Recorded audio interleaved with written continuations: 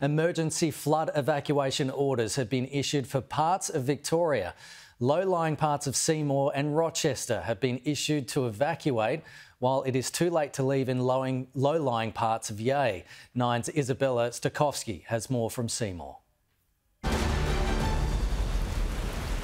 I want to show you though what it looks like this morning here in Seymour. Residents have been sandbagging much of the town uh, yesterday, certainly very prepared. But as we've been travelling around, that flood level has seriously started to decrease. So they might be waking up to some really good news here in Seymour this morning. You can see that these sandbags are dry and we do know that that river level is starting to go down overnight. We're about an hour and a half out of Melbourne here in Seymour, but nearby in Rochester, uh, there are concerns concerns that the flood level there is actually rising. We know that a number of businesses here in Seymour, as well as some homes that were impacted in 2022, have had some minor flooding over in Rochester. More homes are expected to be impacted. We were there for much of that flooding period in 2022. We were travelling around by boat, and those uh, areas really were quite devastated. It was almost like the whole entire town there went under. So a lot, very stressful situation uh, for Rochester residents this morning. We're not sure what they are waking up to this morning.